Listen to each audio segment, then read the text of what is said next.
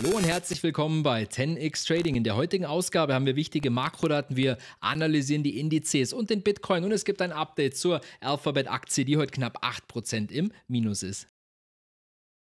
Zu Beginn des heutigen Videos blicken wir auf einige Grafiken und Makrodaten und starten mit Smart Money versus Dumb Money. Da haben wir relativ wenige Veränderungen zum Vortag. Wir haben leicht erhöhte Geldflüsse bei den institutionellen Anlegern und bei den Kleinanlegern sehen wir nach wie vor Geldflüsse auf sehr hohem Niveau. Und deswegen ist es für uns auch weiterhin wichtig, dass wir die Märkte definitiv aus zwei Gesichtspunkten betrachten. Erstens sind wir noch über wichtigen Supports aktuell, die auch ein kurzfristiges Fortsetzen dieser Rallye jederzeit möglich machen. Da sprechen wir auch heute wieder über die die wichtigen Widerstandszonen bei den Indizes und vor allen Dingen über die Kursziele, falls die Märkte hier nochmal zu neuen Hochs ausbrechen sollten, aber natürlich jetzt auch im Detail auf Kursziele, die wir bekommen können im Rahmen von einer etwas größeren Korrektur, wo ich aber nach wie vor zum aktuellen Zeitpunkt davon ausgehe, dass wir interessante Kaufkurse sehen. Und auch bei den Risikolevels im SP 500 hat sich im Vergleich zu gestern relativ wenig verändert, außer dass das kurzfristige Risikolevel jetzt auch wieder angekommen ist bei 7. Das heißt, du siehst übergeordnet, wir sind eben aktuell in dieser Situation, wo wir am oberen Bereich der aktuellen Aufwärtswelle angekommen sind. Gerade beim mittelfristigen Risikolevel sehen wir das eindeutig. Hier gehen wir jetzt wirklich seit mehr als zwei Wochen bei 8 seitwärts, was eben übergeordnet der obere Bereich dieser Skala ist. Also wir sehen, ein Fortsetzen der Rallye muss aktuell vor vom Momentum getragen werden. Übergeordnet strategische frische Long-Einstiege, da braucht es meiner Meinung nach einen gewissen Rücksetzer.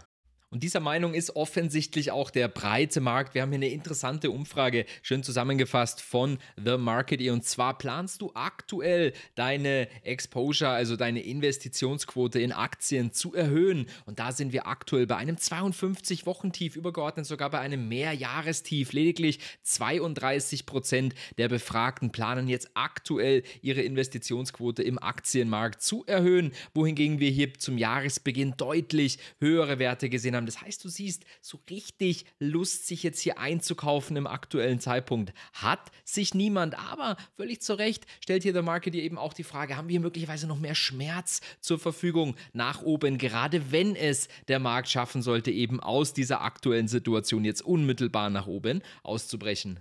Und während sich aber niemand so richtig einkaufen möchte in die aktuelle Marktsituation, bekommen wir vom Sentiment aber durchaus eine positive Meldung. Wenn man hier verschiedene Sentiment-Indikatoren übereinander legt und zusammenrechnet, bekommen wir aktuell ein so positives Ergebnis, wie wir es zuletzt im Jahr 2021 bekommen haben. Also übergeordnet sehen wir, die negative Stimmung aus dem Bärenmarkt ist jetzt sozusagen wieder ausgepreist. Die Leute sind zufrieden mit sich, mit ihren Depots und mit ihrer aktuellen Positionierung im Aktienmarkt. Da muss man man natürlich die Frage stellen, wie viel mehr unmittelbares Upside-Potenzial hat dieser Markt aktuell noch?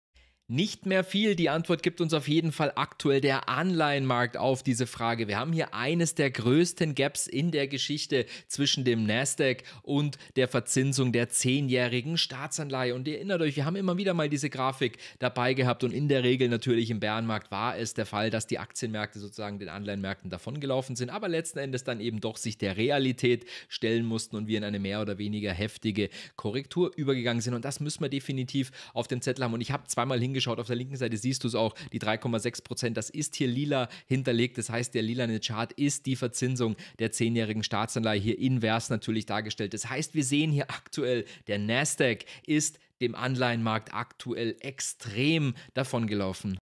Und für den Fall, dass man das nicht gut erkennen kann auf dem Handy, der aktuelle Zins der zehnjährigen Staatsanleihe repräsentiert in etwa einen Nasdaq von ca. 11.600 bis 11.700 Punkte.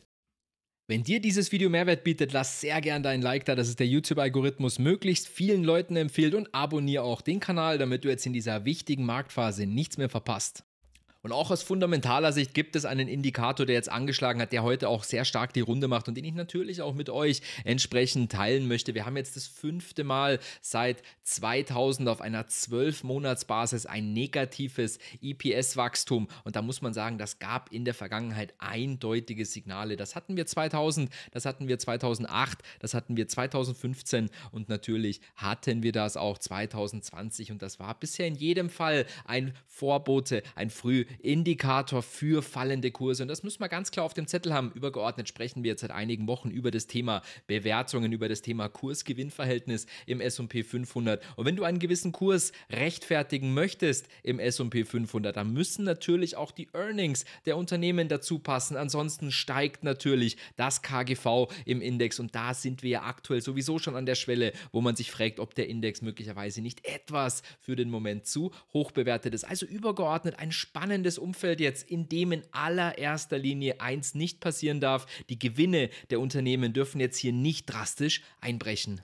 Und auch aus Sicht der Volatilität bekommen wir aktuell ein interessantes Signal, auch wenn ich den Volatilitätsindex derzeit ein bisschen mit Vorsicht genieße, weil wir wissen, der Markt ist ja aktuell in erster Linie getrieben von diesen extrem kurz laufenden Optionen, den Zero DTE, Zero Days to Expiration, eben Optionen, die am gleichen Tag noch verfallen. Und wir wissen ja, die schweben sozusagen oder fliegen unterm Radar vom Volatilitätsindex. Die werden vom Volatilitätsindex nicht erfasst. Jedoch sehen wir, dass der WIX auf den WIX, also der VWIX derzeit jetzt deutlich sich nach oben Türen aufmacht. Also wir bekommen eindeutige Signale. Die Wall Street beginnt sich hinter den Kulissen aktuell abzusichern gegen fallende Kurse und wir kommen jetzt übergeordnet in eine Saisonalität, in der wir eben mit einer Korrektur durchaus rechnen müssen und auch mit steigender Volatilität rechnen müssen. Eben mit Mitte, Ende Februar, dann Anfang März vor allen Dingen ist sehr gerne eine Phase, wo die Märkte in eine Korrektur übergehen. Hatten das einfach so ein bisschen im Hinterkopf aktuell. Wir sitzen wirklich auf einem sehr brodelnden Fass. Das muss uns klar sein, vor allen Dingen dieser Optionsmarkt ist aktuell völlig außer Rand und Band und das kann natürlich in beide Richtungen extreme Bewegungen auslösen. Wir haben es gesehen nach oben, aber sind wir uns bitte auch völlig im Klaren, dass diese Zero DTEs auch in die Gegenrichtung arbeiten können. Und da sollten wir aktuell insbesondere den nächsten Dienstag auf dem Schirm haben. Da bekommen wir die wichtigen Inflationsdaten aus den Vereinigten Staaten. Und der Markt hat uns ja in der Vergangenheit gezeigt, dass er in der Regel zwei Verhaltensmuster kennt. Entweder gehen wir an Widerständen in diese Inflationsdaten, also relativ hoch, dann ist die Gefahr natürlich groß, dass der Markt enttäuscht wird und es zu Abverkäufen kommt. Oder der Markt korrigiert im Vorfeld, preist sozusagen die Enttäuschung schon ein. Dann haben wir eine sehr gute Wahrscheinlichkeit, mit den Daten sogar letzten Endes zu steigen. Was man aber sagen muss, es deutet sich ja an, dass sich die Inflation nochmal beschleunigt hat im Januar auf jeden Fall, zeigen das die aktuellen Prognosen für die Inflationsdaten nächste Woche. Was wir allerdings übergeordnet sehen, ist ein klarer Trend zur Disinflation. Minus 70 Prozent und minus 30 Prozent der, der Länder global gehen jetzt aktuell davon aus, dass die Inflation nachhaltig noch steigen wird. Also hier wirklich einen deutlichen Rückgang. Und auch Jerome Powell sagt es ja eben immer wieder, dass der Pfad zur Disinflation jetzt begonnen hat. Aber er hat gestern auch in dem Interview ganz am Anfang meines Erachtens einen wichtigen Satz gesagt. Er hat gesagt, gesagt, the road will be bumpy. Also es wird definitiv Schlaglöcher geben auf diesem Weg zur Disinflation. Und damit kann er natürlich gemeint haben, dass ein Trend niemals, und das wissen wir ja, in einer senkrechten Linie verläuft, sondern übergeordnet wird sich die Inflation jetzt eben beruhigen. Was allerdings natürlich nicht heißt, dass sie sich zwischendrin nicht nochmal beschleunigen kann. Wir kommen zur Berichtssaison und hier muss man sagen, die Qualität der Berichtssaison, sie hält sich durchaus auf. Wir sind jetzt bei 67 Prozent der Unternehmen, die die Erwartungen der Wall Street schlagen können. Und da muss man natürlich sagen, die Erwartungen waren extrem nach unten geschraubt. Aber es ist dennoch ein gutes Signal, dass die Wall Street eben die Erwartung überbieten kann. Wir wissen aber auch, dass vor allen Dingen jetzt für den weiteren Marktverlauf, Stichwort EPS, was jetzt zuerst mal rückläufig ist, seit einigen Jahren Earnings per Share, vor allen Dingen das erste und zweite Quartal in diesem Jahr sehr, sehr wichtig sein werden. Und natürlich ist auch klar, wenn diese Earnings Season jetzt die Berichtssaison positiv ausfällt, werden natürlich auch die Erwartungen entsprechend wieder nach oben geschraubt. Heute gibt es nachbörslich noch die Zahlen unter anderem von Walt Disney Affirm, Digital Turbine und Robinhood und morgen gibt es dann noch die Zahlen von PepsiCo und nachbörslich PayPal. Wir kommen zum Wirtschaftskalender. Da haben wir gestern mit der Rede von Jerome Paul eins der Highlights der Woche abgearbeitet. Der Markt hat es übergeordnet gefeiert. Zuerst gab es starke Abverkäufe, danach gab es unter höchster Volatilität wieder starke Anstiege. Und sowas ist aber auch immer gefährlich, muss man ganz klar dazu sagen. Vor allen Dingen, wenn du dann siehst, dass du in solchen Abläufen keine höheren Hochs generierst, dann spricht das immer dafür, ob hier möglicherweise Distribution stattfindet, also eben Aktien von starken Händen abgegeben werden in schwache Hände. Das muss man so ein bisschen im Hintergrund Hinterkopf behalten. Morgen gibt es dann noch den Verbraucherpreisindex aus Deutschland. Hier ist die Prognose 8,9 Prozent und dann eben Donnerstag und Freitag die Treffen der Staats- und Regierungschefs. Auch Präsident Zelensky ist ja aktuell jetzt wieder on Tour. Heute in London, morgen müsste er dann in Paris sein. Und da müssen wir jetzt eben auch ganz genau drauf hinschauen, ob sich diese Krise nochmal beschleunigen sollte. Denn wir wissen ja vor allen Dingen, im DAX ist die ja mittlerweile komplett ausgepreist. Der Fear and Greed Index, den schauen wir uns heute mal an im Chartverlauf 2022 und jetzt natürlich Anfang 2023. Und da sind wir nach wie vor im Bereich von 52 Wochen Hochs unterwegs. Wir hatten ihn zuletzt in den Bereich der extremen Gier getrieben, kurzzeitig Intraday, sogar mal mit Kursen über 80, 81 war meines Wissens der Höchststand. Und jetzt sind wir hier beim Fear and Greed Index bei 74 angekommen. Natürlich machen wir aber keine übergeordneten 52 Wochen Hochs im Index. Das muss man so ein bisschen im Hinterkopf behalten, dass der Markt eben hier hier mit gewissen Levels und Widerständen kämpft und eben bereits im Umfeld der Gier ist. Niemals ein kurzfristiges Verkaufssignal, keine Frage, eher so ein Ding, was man im Hinterkopf behält.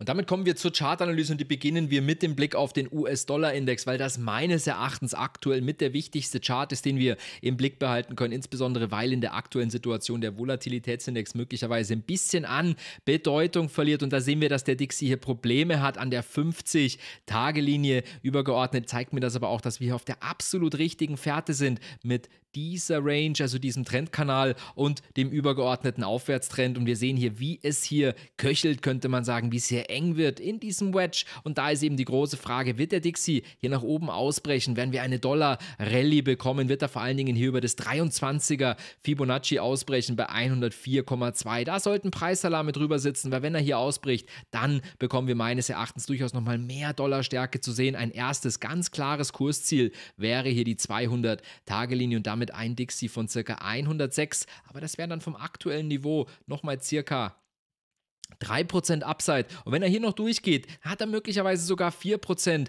nach oben Platz der US-Dollar-Index. Und das ist natürlich dann Druck auf die Märkte, vor allen Dingen auch auf den Kryptobereich und auf den Nasdaq. Das wissen wir. Ein Ausbruch aus diesem übergeordneten Abwärtstrend seit den Tops, den halte ich aktuell für sehr unwahrscheinlich, dass wir hier dann zum 61er und 65er Fibonacci sage und schreibe 6,5% Upside-Potenzial für den US-Dollar. Aber auch völlig wichtig, dass hier unten Preisalarme sitzen. Denn wenn wir sehen, dass diese dieser Versuch einer Dollar-Rallye hier scheitern sollte, den wir hier zuletzt gesehen haben, wenn das hier oben, was wir jetzt hier gerade sehen, eine Bullenfalle ist beim US-Dollar, dann müssen wir uns hier möglicherweise mit deutlich mehr Downside auseinandersetzen und das würde natürlich den Märkten Rückenwind geben. Insbesondere ein US-Dollar-Index, der hier durch sein lokales Tief bricht, weil er eben hier bereits diesen Support gebrochen hatte. Hier haben wir gekauft, Bärenfalle und wenn das nochmal nach unten bricht, dann lässt der Markt hier nochmal los beim US-Dollar und dann ist für mich das nächste Kursziel ganz klar zu suchen hier im Bereich von dieser horizontalen Supportzone bei 97. Und dann hätte der US-Dollar-Index vom aktuellen Zeitpunkt ca. 5% Downside. Und wir wissen, das wäre dann wirklich der Rückenwind für die Aktienmärkte, um eben in die kritischen Zonen vorzudringen, über die wir jetzt gleich sprechen werden. Wir blicken auf die Verzinsung der zehnjährigen Staatsanleihe und die haben wir hier auch sehr gut jetzt eingekesselt und auch hier deutet sich meines Erachtens durchaus eine impulsive Entscheidung an, ähnlich wie beim US-Dollar-Index. Hier jetzt auch eine Keilformation, wo die Anleihenmärkte hier durchaus noch seitwärts gehen können und die Entscheidung steht hier an spätestens für nächsten Dienstag, Stichwort CPI-Daten in den Vereinigten Staaten. Also sehr spannend, aber hier müssen trotzdem Preisalarme sitzen bei über 3,7 Prozent und vor allen Dingen dann bei über 3,75 Prozent, weil wir wissen, der Aktienmarkt ignoriert ignoriert hier diese Zinsstärke aktuell noch völlig, aber meines Erachtens kann er diese nicht mehr ignorieren, wenn wir hier aus dieser übergeordneten Supply-Line, also aus dieser abwärts gerichteten Trendlinie, wo eben Verkaufsdruck herrscht, wo wir, wenn wir hier ausbrechen und da ist der Anleihenmarkt jetzt gerade drauf und dran, aus dieser Abwärtstrendlinie, die wir eben seit den Tops bei der zehnjährigen Verzinsung gesehen haben, auszubrechen und das kann dann der Aktienmarkt meines Erachtens eben nicht mehr ignorieren. Haben wir das bitte auf dem Zettel, dass hier die Anleihenmärkte, der Zins ist gemeint, möglicherweise kurz vor einem Ausbruch stehen. Vor allen Dingen halte ich Zinsen auf die zehnjährige Staatsanleihe jenseits der 3,75 Prozent für sehr gefährlich, aber es müssen auch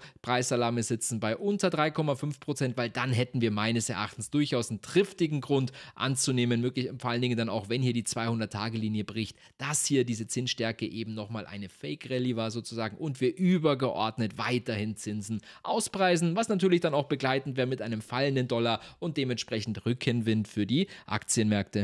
Wir blicken auf den Volatilitätsindex und wir haben ja übergeordnet diesen Abwärtstrend hier auf dem Schirm. Natürlich, der Beginn dieses Abwärtstrends ist sozusagen der Boden gewesen bei den Aktienmärkten. Hier am 13. Oktober hatten wir das Top gesehen beim Volatilitätsindex mit 35. Seitdem natürlich die Rallye an den Märkten und übergeordnet fallende Volatilität. Jetzt bricht uns der WIX hier seitwärts aus aus diesem Abwärtstrend. Aber es wirkt hier so, als würde er wirklich künstlich unter der Schwelle von 20 gehalten, weil wir hier aktuell eben nicht drüber steigen, obwohl obwohl wir ja übergeordnet durchaus eine hohe Volatilität sehen an den Aktienmärkten und vor allen Dingen ja auch von den Tops durchaus wieder ein Stück zurückgekommen sind. Aber wir sehen hier noch keinen Ausbruch beim Volatilitätsindex und wir haben natürlich auch diese Optionen im Hinterkopf, diese Zero DTEs, die ja hier nicht erscheinen und vor allen Dingen den VWIX, der sich ja bereits auf dem Weg nach oben macht. Also umso wichtiger, habt bitte Preisalarme drauf, weil wenn wir dann sehen, dass auch der WIX wirklich anschlägt, dass der WIX hier nach oben ausbricht, vor allen Dingen, wenn er dann hier die 50-Tage-Linie rausnimmt, die uns ja hier seit, muss man ja sagen, 13. Dezember Widerstand ist, dann müssen wir langsam aber sicher eben davon ausgehen, dass wir zumindest nochmal in eine etwas schärfere Korrektur gehen. WIX zwischen 20 und 25 deutet eine milde bis stramme Korrektur an. WIX über 25 ist dann schon der erste Anflug von Angst im Markt. WIX über 30 erinnern wir uns an 2022. Da ist dann die Hölle los. Wir kommen zum S&P 500 und jetzt schauen wir uns heute mal ein bisschen größeren Zeitfenster an und zwar zurück bis zum Juni 2022, denn der Markt kennt diese aktuelle Zone, in der wir seitwärts gehen. Es war exakt die Zone, in der wir vor den CPI-Daten im Juni 2022 seitwärts gegangen sind. Damals haben wir auch drüber gesprochen. Ich erinnere mich noch gut an diese Phase. Da hatte ich gesagt, eben so eine hohe Konsolidierung. Damals war davor eine massive Rallye, ähnlich wie wir sie jetzt eben hier gesehen haben. Und dann diese hohe Konsolidierung, das ist durchaus gefährlich. Da damals kam es zu einer massiven Kapitulation. Da haben die Märkte von diesem Level übergeordnet auch nochmal auf neue 52 Wochen Tiefs 12 Prozent verloren. Davon gehe ich zum aktuellen Zeitpunkt nicht aus. Aber ihr wisst mein Kursziel für einen möglichen Dip von dieser Stelle. Das wären so circa 5 Prozent. So ein richtig schöner Abverkauf in den Bereich um 3900 bis 3920 Punkte. Backtest der 200-Tage-Linie, was eben in der Vergangenheit nach einem Ausbruch, nach einem Bärenmarkt in der Regel immer passiert ist. Wenige Tage bis Wochen später eben nochmal mal ein herzhafter Backtest der 200-Tage-Linie. Und wenn der Markt dann beweist, das ist hier Support, dann machen wir uns auf, auch möglicherweise hier zu neuen lokalen Höchstständen. Das haben wir bitte auf dem Zettel, dass diese Seitwärtsphase, die uns der S&P 500 hier zeigt, im Jahr 2022 einmal zu herben Abverkäufen geführt hat. Aber genauso, und darüber sprechen wir natürlich auch an dieser Stelle, wenn der Markt hier dieses Level rausnimmt, diese Tops bei 4200 Punkte, dann geht es hier senkrecht drauf, senkrecht runter. Das haben wir gesehen im August und zwar an einen Top von 4300 bis 4 4350 Punkte und das sind hier auch meine beiden Zielzonen. Das hier ist das Fibonacci aktuell 127 bis 161.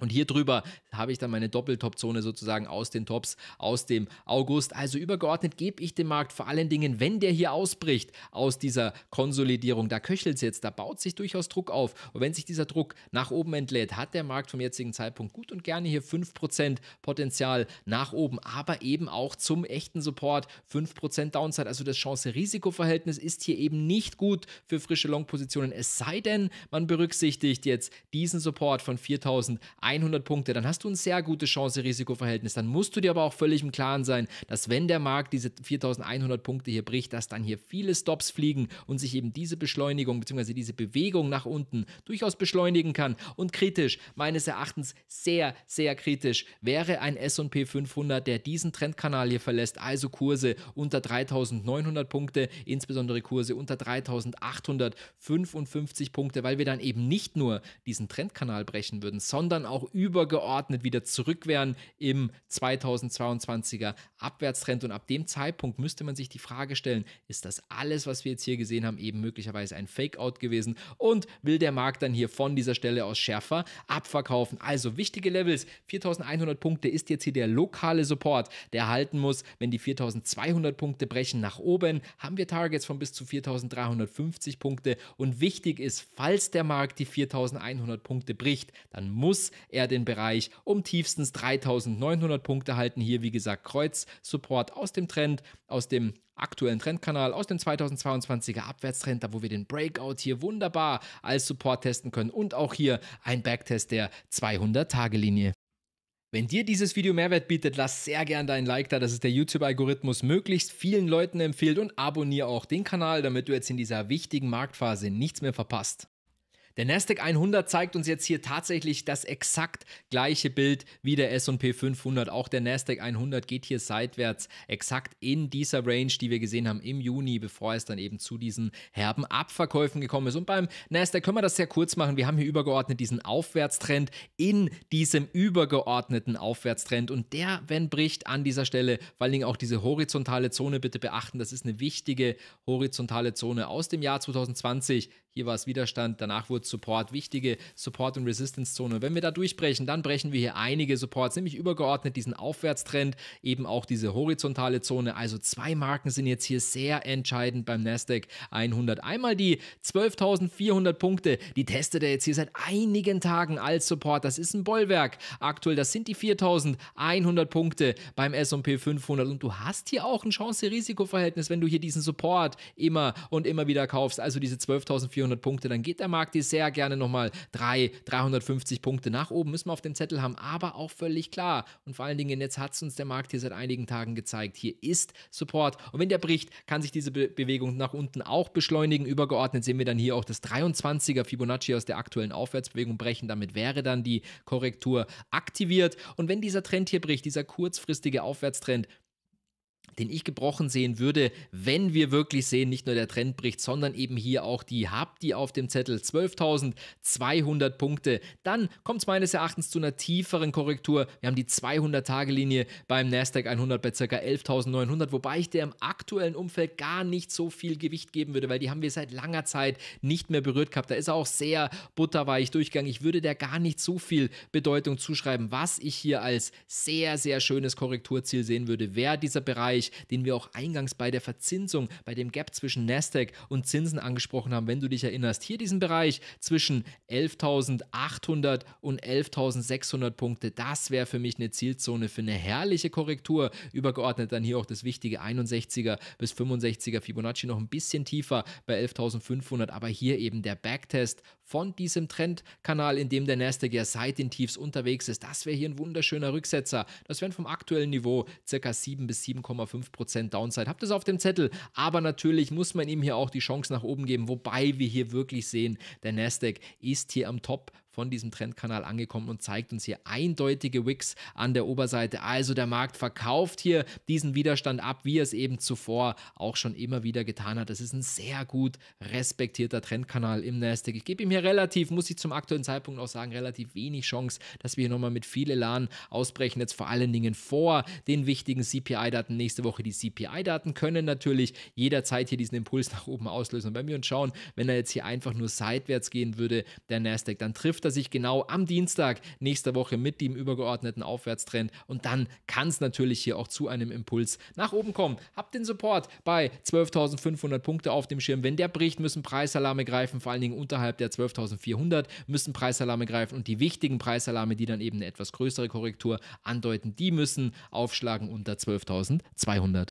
Den DAX sehen wir aktuell seit einigen Tagen in der Seitwärtsphase in der wichtigen Zone, über die wir jetzt seit vielen Wochen sprechen. Hier oben ist das 78er und 88er Fibonacci von dem All-Time-High ans Tief. Das heißt, wir wissen, wenn er diese Zone hier wirklich mit viel Volumen rausnehmen sollte, dann müssen wir zu dem Zeitpunkt damit rechnen, dass er zumindest die All-Time-Highs angreift, möglicherweise wirklich auf neue All-Time-Highs ausbricht, der DAX. Aber man muss sich auch völlig im Klaren sein, das ist jetzt hier sozusagen die letzte Bastion der Bären. Hier können die Bären nochmal um den Markt Markt kämpfen. Deswegen muss man hier jetzt auch mit großem Verkaufsdruck rechnen. Und übergeordnet kann der DAX jetzt hier sogar bis Anfang März seitwärts gehen und hätte erst dann eine weitere Berührung mit dem übergeordneten Aufwärtstrend. Das heißt, wir beobachten den DAX jetzt hier ganz genau. Der Trigger für mehr Downside oder für eine größere Korrektur ist natürlich völlig offensichtlich beim DAX. Das wäre ein Bruch unter die 15.000 Punkte, ein Bruch unter diesen Aufwärtstrend und demnach eben mehr Downside in den Bereich dieser letzten Supportzone. Das ist dann auch das übergeordnete vor Corona All-Time High und das wäre mein Kursziel für eine Korrektur beim DAX 14.000 bis 13.800. Aber wie gesagt, der kann jetzt hier noch einige Tage, möglicherweise sogar Wochen seitwärts gehen. Wir kommen zum Hang Seng Index und der geht hier durchaus möglicherweise in einen Momentum Switch von einem nahezu unaufhaltsamen Aufwärtstrend. Sehen wir jetzt, dass die Käufer nicht mehr wirklich in den Markt kommen. Die kleinsten Rallyes werden hier abverkauft. Wir haben fallende Hochs und jetzt ist hier ein wichtiger Preisbereich. Hab den bitte auf den Zettel, wenn du bei chinesischen Aktien unterwegs bist. Das 23er Fibonacci aus dieser Aufwärtsbewegung, das bricht bei 20.876 Punkte und zu diesem Zeitpunkt sind die Kursziele dann für eine Korrektur entweder das 38er Fibonacci bei 19.678, hier wäre auch die 200-Tage-Linie oder das 50er Fibonacci bei 18.700, möglicherweise sogar das 61er Fibonacci bei ca. 17.800. Auf der linken Seite achten wir bitte auf die lokalen Tiefs bei exakt 19.000 Punkte oder auf diese Kapitulation zur Downside hier in dem Bereich von 18.000 Punkten. Übergeordnet, habt es bitte auf dem Zettel. Der Hang Seng hat diesen aggressiven Aufwärtstrend jetzt verlassen. Wir haben hier einen Markt, der jetzt fallende Hochs produziert, der sich jetzt hier Support aktuell sucht bei 21.000 Punkte. Brechen die 20.800 Punkte, hat der Hang Seng von dem Zeitpunkt nochmal 6% bis möglicherweise 10% Downside. Und da sprechen wir dann vom 50er Fibonacci, vom 61er Fibonacci. Wenn er von hier nochmal durchbrechen sollte, wären es nochmal weitere 6%. Und es gilt natürlich weiterhin beim Hang Seng, wenn wir jetzt diesen Dip bekommen, eine etwas schärfere Korrektur, dann haben wir natürlich nach wie vor die Chance auf eine wunderschöne inverse Schulter-Kopf-Schulter-Formation.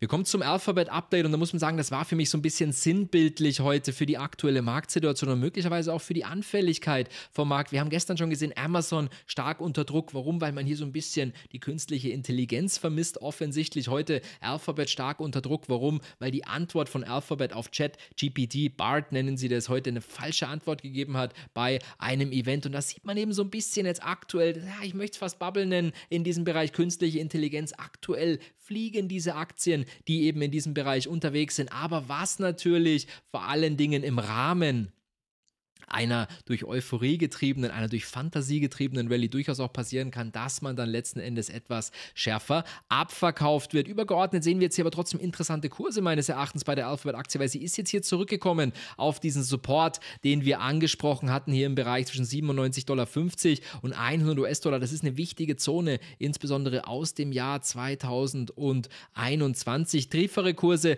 als 97,50 wollen wir aber nicht sehen, weil es sonst sehr, sehr steil nach unten geht, wie uns die Alphabet-Aktie auch in diesem Jahr immer wieder bewiesen hat. Also wer jetzt hier was probieren möchte, auch für eine Fortsetzung oder auf eine Fortsetzung dieser Rallye spekulieren möchte, hat mit Sicherheit hier nicht die schlechtesten Kurse. Aber sei dir auch bitte völlig im Klaren, dass wenn hier diese 97,50 Dollar deutlich brechen und vor allen Dingen, wenn uns Alphabet, wenn wir uns hier den Abwärtstrend anschauen von 2022, wenn uns Alphabet hier zurückfallen sollte in diesen Abwärtstrend, dann haben wir hier natürlich auch wie beim Nasdaq übergeordnet dann die Argumentation eines Fake Breakouts aus dem Abwärtsrennen und dann kommt es meines Erachtens nochmal mit an Sicherheit grenzender Wahrscheinlichkeit zum Test von diesem übergeordneten Aufwärtstrend, wo wir ja in diesem Jahr im November und im Januar diesen herrlichen Doppelboden bekommen haben. Also kurzfristig möglicherweise hier eine spannende Chance, sei aber bitte sehr vorsichtig bei Alphabet, bei Kursen von unter 97,50 und Ziel, wenn die Rallye fortgesetzt werden kann, bleibt natürlich nach wie vor die Vervollständigung dieser Harmonic, die wir sehen,